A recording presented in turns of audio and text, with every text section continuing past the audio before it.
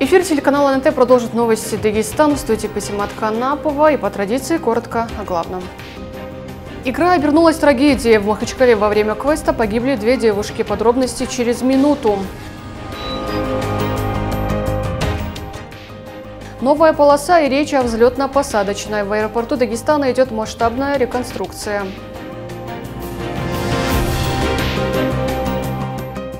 Она пережила Кавказскую войну. Старинную мечеть в Рутульском районе открыли после восстановления.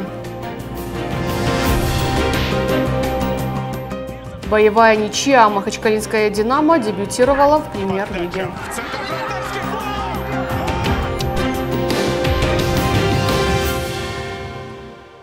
Очередная трагедия, которая унесла жизни людей. Две подруги, Асият и Мадина, зашли в дом ужасов и не вернулись. Во время прохождения игры вспыхнул пожар. Девушки не сумели выбраться. Трагедия произошла в квест-доме по улице Расула Гамзатова. Побывала на месте ЧП и побеседовала с очевидцами моя коллега Силья Магомедова. Она восстановила хронологию событий. Ей слово. Потихоньку закупаемся. Сегодня еще один день Хинкала. Дальнейшим планом двух подруг, 25-летней Мадины и 19-летней Асият, не суждено было сбыться. Трагический случай во время прохождения квеста в Доме ужасов оборвал их жизни. Все произошло на этом самом месте. По сути, квест должен был развлечь и напугать посетителей. Но что-то пошло не по плану, и вместо атрибутики игры здесь свежие следы от пожара. Если присмотреться, обгоревшие стены, предметы и выбитые окна. Асият и Мадина пошли на игру поздним вечером. Одна из них была со своим мужем. Примерно в 2 часа ночи во время сеанса загорелся бензин. Из-за пожара люди, которые находились в помещении, стали звать на помощь. Их крики услышал и проходивший мимо Яхья Алиев. Говорили, помогите, помогите.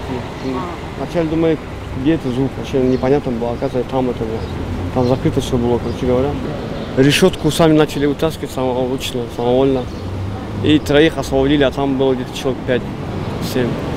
А, то есть вы помогали, да, вытаскивать? Да, помогали люди, и пожарные тоже приехали, и МЧС, но они дверь не могли открыть, дверь заблокирована была, ее дверь резали, болгарки, короче говоря. Пострадавших доставили в ожоговый центр Республиканской клинической больницы. Спасти девушек врачам не удалось, они находились в критическом состоянии. Парень, который был вместе с ними, выжил. По факту гибели двух человек Следственный комитет по Дагестану возбудил уголовное дело.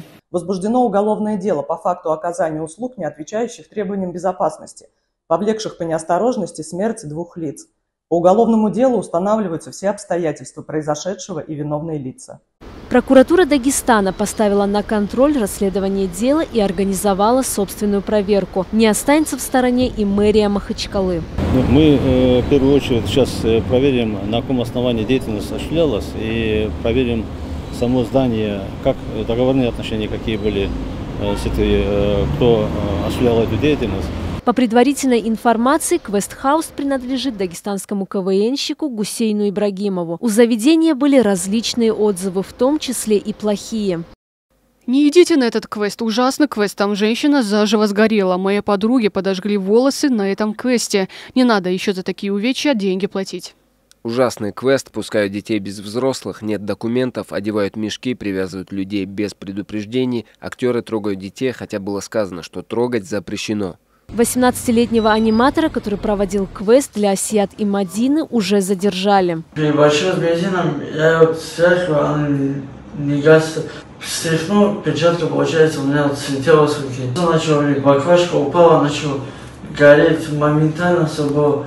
О погибших девушках к этому часу известно следующее. Мадина работала фитнес-инструктором. Асият была ортодонтом и на прошлой неделе вышла замуж. Ее мама на следующий день после свадьбы оставила трогательное послание молодоженам в социальных сетях. В нем она пообещала дочери всегда делать для нее самое лучшее.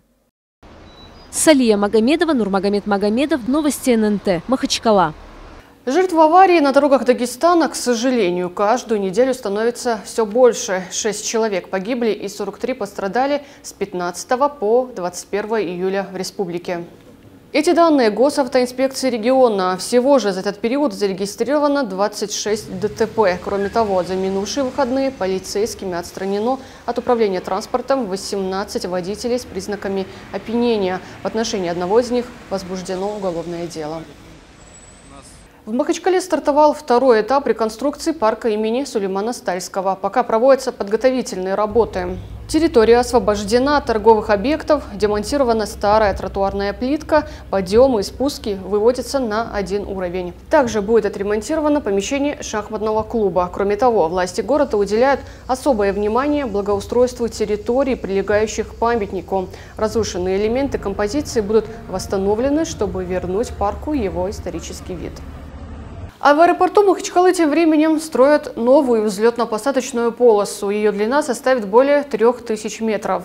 Площадка создается с учетом сейсмических особенностей республики и позволит принимать самолеты любого типа даже в сложных погодных условиях.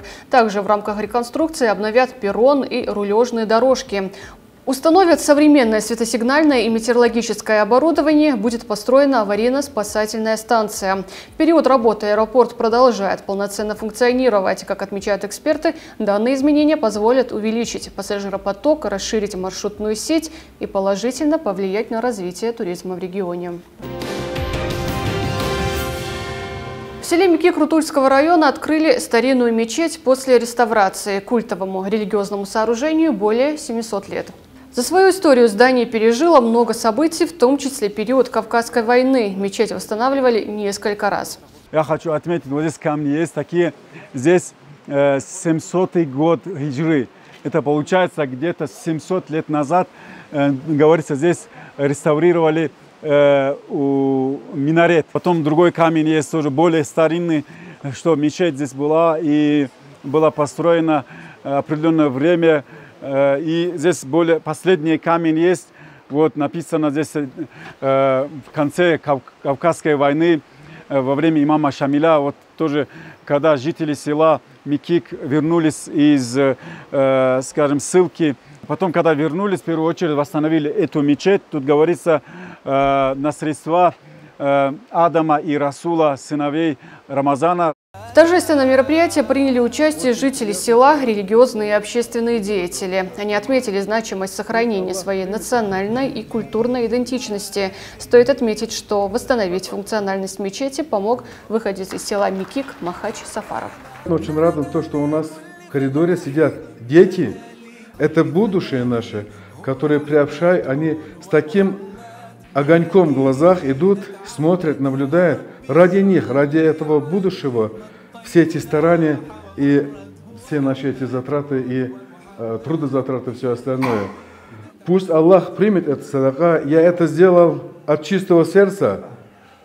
В первую очередь для Аллаха, а второе это для нашего джамата, которого я люблю.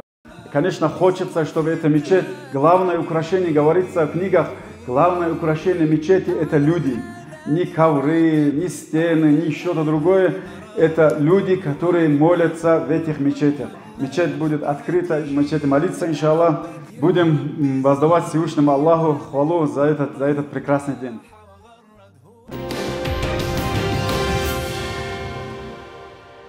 И немного о спорте. Махачкалинская «Динамо» дебютировала в премьер-лиге. В матче первого тура столичные футболисты в гостях встречались с подмосковными «Химками». Игра завершилась ничьей 1-1. «Динамо» первым вышла вперед. На 33-й минуте головой подачу Ражаба Магомедова с фланга замкнул защитник Идар Шумахов. Подача в центр вратарский этот забитый мяч стал историческим первым для махачкалинского «Динамо» в элитном дивизионе. Химки сравнялись уже после перерыва на 51-й минуте. Гол забил форвард Антон Заболотный. Отметим, что в этом матче футболисты «Химок» дважды не смогли реализовать пенальти, а гол, забитый «Динамо» в конце матча, был отменен после просмотра видеоповтора. В следующем туре 28 июля махачкалинцы отправятся в Краснодар, где сыграют с одноименным клубом. Матч получился такой, каким и должен быть э, первый матч премьер-лиги. Все-таки у нас э, дебютировало 9 игроков в премьер-лиге, поэтому где-то в начале был чуть сумбур. Вот, потом, значит, э, команда успокоилась, уже, в принципе, такая пошла игра более ровная. Вот, но в целом я считаю, что обе команды старались играть в футбол. Было много борьбы. Вот, я считаю, что было достаточно моментов и у тех, и у других ворот. В целом, думаю, что результат по игре. На этом я с вами прощаюсь. Для вас в студии работал Патимат Канапова. Следите за новостями также в нашем телеграм-канале. До новых встреч в эфире.